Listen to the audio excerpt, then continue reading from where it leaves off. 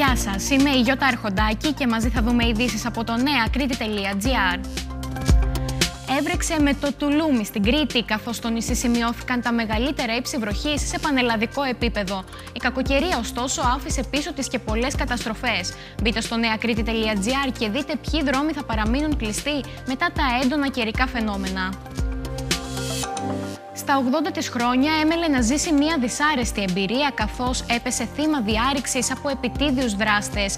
Η κυρία Αντιγόνη έλειψε για λίγο από το σπίτι της και όταν γύρισε τα είδε όλα άνω κάτω. Μια όμορφη και συγκινητική έκπληξη επεφύλασαν τα στρατάκια στα παιδιά που νοσηλεύονται στην παιδοαιματολογική κλινική του Παγνή. Οι καλλιτέχνες έπαιξαν μουσική στα μικρά αγγελούδια με καρκίνο και τους χάρισαν χαμόγελα. Για ειδήσεις από την Κρήτη, την Ελλάδα και τον κόσμο, ακολουθήστε μας στα social media. νεακρήτη.gr, η ενημέρωση στα χέρια σου.